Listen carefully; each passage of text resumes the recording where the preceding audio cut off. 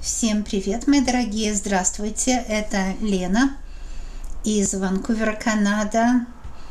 Пусть все у вас будет светлое, ясное и чистое. Низкий вам земной поклон, мои дорогие люди. Карта Таро ответит на вопрос, какие врата для вас откроются в тот момент, когда вы смотрите расклад.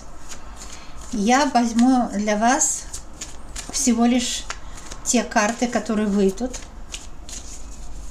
И мы посмотрим а, именно, что карты покажут относительно вашей жизни. Относительно того, какие возможности даст судьба, какие двери откроются и зачем и почему. Ух ты, императоры, вы будете иметь свой план, это очень хорошо. И сила, ваша сила в инициативе – Император это то, что есть желание что-то делать, есть э, желание начинать двигаться, и даже вы, ну, не то чтобы уверены в победе, а вы понимаете, что победа это что-то делать. Про проигрыш, когда человек ничего не делает. Император и сила, два старших аркана. Итак, я буду рассказывать, и э, в этой небольшой выкладке я хочу сделать э, расклад небольшой, не длинный. Я буду говорить то, что увижу. И карты вы будете видеть, да. Я не буду их называть как бы по значению. Я не буду вам трактовать по значению карт. У меня есть уроки, чтобы значение карт понимать. А просто буду говорить то, что я чувствую, они мне транс транслируют интуитивно. Если вас э, устраивает такой план, то мы сейчас начинаем. А, видео всегда характерно и работает в тот момент, когда вы его нашли, в тот сезон, в тот день и час, когда вы нашли именно так хороша ложка к обеду. А благодарю спонсоров канала, благодарю тех, кто ставит лайки или делится видео с друзьями. Ну а я начинаю right away, сразу начинаю, да. Можно задать моим картам ваши вопросы, и вы тут же получите конкретный ответ. Понимаете? Какие врата у вас откроются? Что даст вам судьба? Сейчас посмотрите это как на море возможностей. Да, ваша жизнь как море возможностей. И, допустим, у вас есть вот пять лодок, да, вам следует сесть в любую из этих лодок и плыть. Куда вы будете плыть? Что вы увидите на том или другом берегу. Даже себе можно представить, как здесь у нас есть, вот когда выходишь э, в открытый океан, я сама, знаете, живу на Тихоокеанском побережье, у нас много маленьких островков. И когда я, например, плыву куда-то в отпуск там на Ванкувер-Айленд еще, я вот думаю, что этот или другой островок мне даст. Но вот и карты эти ответят. Представьте себе, что там вот пять островков, и вы сели в свою лодку жизни – и вы плывете в этой лодке, да. И когда вы плывете в лодке, именно ощущение такое, что вы плывете куда-то, да. А, куда вы плывете? Что вам даст эта лодка жизни? Может быть, вы как отшельник плывете, не знаем, а куда. А может, именно сила в вашем отшельничестве есть, да? И вот эти пять островов. Что даст каждый остров? Загадайте себе – Например, да, такая фантазия, но на самом деле виртуальная фантазия-то есть, правда? Я вам скажу, что каждый из этих ваших островов, к которым вы плывете, то есть ваши мечты, да, вашим желаниям, а что вам каждый из этих островов даст. Когда вы послушаете мой голос, посмотрите на карты, вы воспринятите духом. Вы почувствуете именно то, что вам нужно почувствовать. И вы поймете, нужно ли в это вам или нет. Так бывает иногда, что нам это не нужно. Мы плывем на полпути, понимаем, что не нужно, но нам же мама говорила доедать манну кашу до конца. Мы тратим деньги и силы зря, доплывая до этого острова, до этого мужчины, до этой работы, до этой страны, а потом оказываемся в, не, в неправильном месте, в неправильное время своей жизни и говорим, боже мой, зачем я это делала? Это все было пустое, все мне не нужное было. И разбивается все как башня, знаете. Рушится все. И вы, вместо того, чтобы сказать, well, не получилось, ну что, жизнь-то продолжается, у вас жизнь рушилась, потому что нарушились нейронные связи, вот так, все. и вы не можете выстроить новые. Поэтому в данном случае помогают расклады. Расклады вам показывают то, что нужно увидеть, а чтобы доплыть да, до вот этого острова, так называемого, острова вашей жизни, где вы окажетесь уже в другом понимании себя, да, в другом понимании своей жизни. И когда вы смотрите на карты, карта с вами сама говорит, даже мои слова не могут это все высказать, потому что слова не могут передать ни эмоции, ни мысли у современного человека. Слова старинные, а за последние сто лет так человек вообще изменился, да. Поэтому вот символ, он приобретает лучшее значение, чем любые слова там в священных святых книгах. Вот символ лучше всего, поэтому второй такой популярный и знаменитый. По этой простой причине. И вот судя по этим картам, вы сейчас стоите на развилке, вы боитесь двигаться вперед. Понимаете, вы боитесь, как бы чего не вышло. Потому что именно сейчас вы как будто бы кто-то вас осуждает, да, как будто кто-то вами руководит, кто-то вам говорит, ой, да, нет, нет, нет, нет, это не твое, да, это не твое. На самом деле, знаете, было написано гробы крашеные. Вот по откровению Иоанна, да, как э, откровение Иоанна, гробы крашеные эти люди, которые вам указывают, как вам жить. Понимаете? То есть они не знают ваших талантов, они не знают ваших предпочтений, они не знают ваших возможностей. Так что не слушайте. Вот этот первый остров, куда вы плывете, да, не слушайте тех, кто вам хочет сделать замечание, кто хочет вам якобы помочь. Сказать, там нужно надеть каблуки, нужно, нужно уважать своего мужчину, даже если он пьет и бьет, зараза такая, да.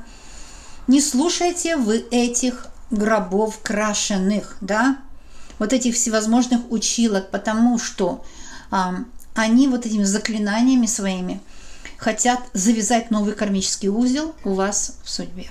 Зачем они вам нужны? И вот этот новый остров, первый остров, может, вы его уже прошли. И он оказался не тем, ну, чем нужно, да? И вы теперь думаете, хорошо, а что мне делать? Мне остановиться на этом или идти во второй остров? И вот вы идете, плывете во второй остров. И вы получаете в этом втором острове вроде бы то же самое опять. На те же грабли наступили, да? Вы наступили на те же грабли, на первый взгляд, как вам кажется что вы оказались в том месте, где все похоже на как было во сне, как вроде здесь когда-то были. Да? То есть мужчина вроде похож на предыдущего, такой же подлец, но это на первый взгляд, а может он вообще не подлец. Просто мы видим в другом человеке обычно то, что мы уже видели. А то, что мы еще не видели у мужчины, например, благородство или в работе перспективу, а мы ее не замечаем. Поэтому этот новый остров, к которому вы едете, о котором сейчас пойдет речь, это ваша возможность. Это хорошие новости. Что я здесь вижу для вас, мои дорогие? Я вижу новые возможности. Я вижу перемены. Я вижу, что-то мчится в вашу жизнь. Хочет проникнуть в те места, где у вас, вам больно. И исцелить. То, что нужно исцелить. Проникнуть в те места, где больно. Хорошо. То есть второй остров, а вторая идея, вторая мысль, это просто для исцеления. Может, это даже не ваша цель. Это просто исцеление того, что нужно было исцелять. И вот вы сели в лодку и плывете, плывете к третьему а, острову. И там как мостик, как мостик, который шаткий. Понимаете, вы идете, шатается все, и вообще можно упасть, можно провалиться. Это риск. Например, новая инвестиция, новая страна, новое вложение денежное, да, новые какие-то страхи, с которыми вы совладаете. Этот третий остров, это, это третья мечта, на самом деле не мечта, а на самом деле испытание жизненное. Вас жизнь проверяет на прочность, говорит, смотри, провалишься ты или нет. Испугаешься ты этих придурков, которые вам крестики там подбросили, ну не больные люди, что на больных обижаются. Или же тех людей, которые хотят вас запугать, сказать, что смотри, здесь будет провал, здесь потеряешь деньги. Ну, идешь по мостику, а там дальше ничего нет. И вот так вот получается, что вы боитесь вложиться и финансово, и любовно, и по карьере. А не, не бойтесь. Третий остров – это на испытание вашей прочности, чтобы вы не боялись больше сделать что-то новое в вашей жизни, понимаете? И вот уже четвертая попытка, четвертая попытка развяжет вам руки, потому что вы гордо сидите, вы гордо сидите. И да, вы эмоции ваши под контролем, понимаете, потому что вы больше не сетуете, не злитесь, не раздражаетесь, не боитесь. Вот карта мечевая говорит, что у вас уже такой э, запас прочности, да, такой резилиенс.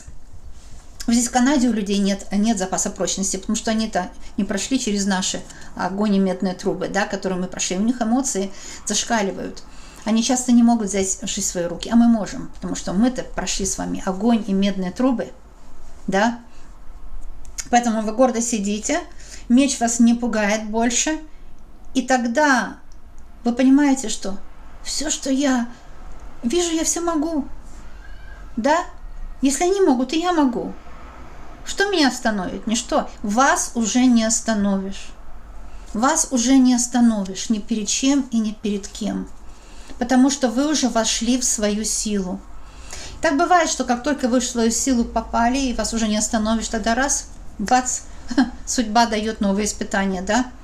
Потому что страшно, потому что опасно, потому что все так быстро меняется, все рушится, все очень быстро меняется. И вы входите в свою силу в процессе, когда все вроде рухнуло когда вы смотрите, и все как, как песок сквозь пальцы уходит тот дом, который вы строили, он рушился. Его нет, там опасно. Там враг. Там все разрушено, но вы хотите назад. Вы хотите назад с этим мужчиной. А он подлец. Вы говорите, он ушел, ну может он вернется. Рушилось все. Все, не собирайте обломки, не вернется. Ну, он вернется, но он опять будет делать то же самое, только еще как бы говорится, с тем концом, но еще и больше, хуже, да. И тогда вы в этой лодке продолжаете быть, там один, второй, третий остров. И когда мы сравниваем, допустим, три острова, да, мы понимаем, что, хей, вы прошли испытания, вы прошли такие трудности и развязали какие-то кармические узлы. Видите, этих три острова вы прошли, то есть три вопроса ваших. Ваши вопросы личные, финансы там, любовь, быт, визы какие-то, выплаты или суды, ну что у кого. Три какие-то важных вехи. И вы-то, когда оглядываетесь, вы думаете, мэн, я в принципе, ну, было и то, и другое. Я, в принципе, ничего не выиграла. И вы думаете, а что я ничего не выиграла, да? Я ничего не выиграла? Вроде, вроде бы я все рассчитала правильно. Но на самом деле а, силы были неравные. И поэтому вы сейчас оказались в ситуации, когда вам нужно взять себя в руки и сказать, так, все, что страшного, иду дальше. Иду дальше, да, не буду больше, а, как говорится, не злись, не проси, что там, это королева английская, что-то не, не жалуйся, что-то не проси, ну, я не помню. То есть вы плыли по этой дороге, к разным вот этим местам вашей жизни. И вы видели разные события. И эти карты говорят вам, вот, вот колода такая замечательная, да, говорит, что жизнь это так, это плюс и минус.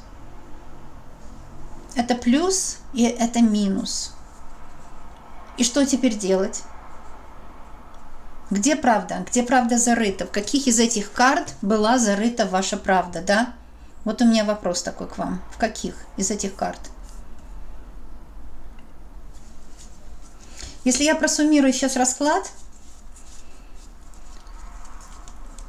я четко вижу, что вот когда вы посмотрите просто на карты, да, вы увидите, что эти пять фрагментов вашей жизни, о которых здесь шла речь, да, вы в разное время пересматриваете и разные даете им определения – Например, первый фрагмент, да, мы говорили о том, это, ну, все вроде разрушилось, вы хотите убежать. И когда вы куда-то бежите, вы смотрите, и там разруха, потому что вы там новый, там тоже не, не знаете, как, где голову приткнуть. По второму острову, в который вы идете, вы набираете силы. Вас закалили эти испытания. И у нас там мечевая карта говорит, что вы прошли сложности, которые вас сделали крепче. И вот этот второй остров или вторая мечта, она уже начинает исполняться не сама по себе, а меч говорит, что это ваш опыт жизненный, да, дает вам прекрасный результат. Третий остров тоже мечевая карта получается, да. Я вот, вот вижу, много мечевых карт было. То есть, другими словами, Третий остров тоже мечевая карта. Вы себе задаете вопрос такой, да? Что опять те же грабли в третий раз? Но на самом деле нет, потому что уже по значению эти, эта карта, она уже не такая, не такая сильная, не такая страшная, не такая опасная. То есть уже начало исправляться все, но вы еще не знаете. Это только видно, когда посмотришь извне на вашу ситуацию. Изнутри кажется все, что плохо. Потом четвертый ваш квест, то есть четвертое ваше устремление, желание, какой-то проект, домашний или рабочий, любой. Это уже развязывать кармический узел. То есть это уже выйти на, этот просвет. Да, здесь я вижу, развязывали, развязали вы кармические узлы. И по пятому, пятая из пятой попытка, да, попытка не пытка, но не зря же пентаграмма, это же очень серьезно, потому что только с пятой попытки обычно получается лучше. Но многие до этой пятой попытки не, не доживают, потому что, ну как, они доживают, но они не хотят, они сдаются, потому что, ну это пентаграмма, тот, кто не сдался, тот получил изобилие, как по правильной пентаграмме. Тот, кто сдался, тот получил дьявола, перевернутой пентаграммы. И тогда уже хорошая новость. Я уже вижу здесь чаши, пош... ча... карта чаш, да? Чаши пошли. То есть хорошие новости. Хорошие новости, где вы найдете то, что искали. И, э, конечно, всегда иносказательно это правильно по картам. То, что вы искали, вы знаете сами. Вы берете мою иносказательность, таинство расклада, подставляете свои конкретные обстоятельства, и расклад вам скажет, как этого добиться. Я здесь вижу пятая попытка только. Мы рассмотрели все пять попыток, мы раскрыли их подробно и увидели, что только с пятого раза у вас получится найти нужного мужчину. Значит, пятый. С пятого раза э, вы найдете лучшую работу с лучшей зарплатой. С пятого раза вы найдете лучшее, может, страну, село, где будет вам надежно, не, не опасно, безопасно жить и растить ваших детей. Поняли, да? Да, мощно. Очень мощно. Я вам желаю счастья, пусть у вас все будет замечательно. Благодарю спонсоров канала за поддержку. И еще увидимся. Пока, мои дорогие.